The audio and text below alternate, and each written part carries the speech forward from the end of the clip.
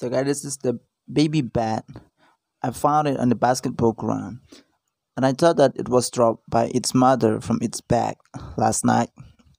And I see that it is suffering a lot and it needs help from people, right?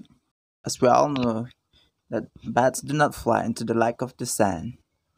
So I'm helping it to put into the dark place or into the shed under this China rose leaves. Therefore, guys, don't think that it is only just a small bat. It has also life, right?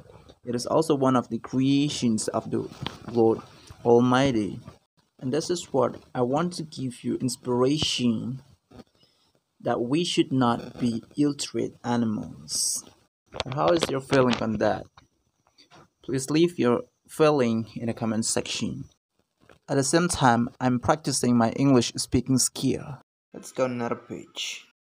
Why I show you this flower is because I'm gonna ask you question to let me know the name of this flower. Do you know the name of it? It's really nice. Beautiful, right? Have a look. See? Wow. It's really nice. I think it is really attractive to the insects whenever it is glowing like this. And what about this? Have you seen this flower before? Have you? If not, I'm gonna make you know.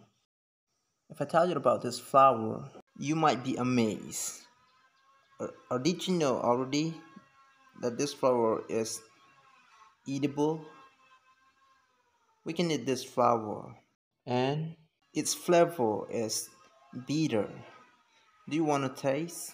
If you want, let me know in the comment section. And do it quickly, alright? I'm waiting for your comments. Bye.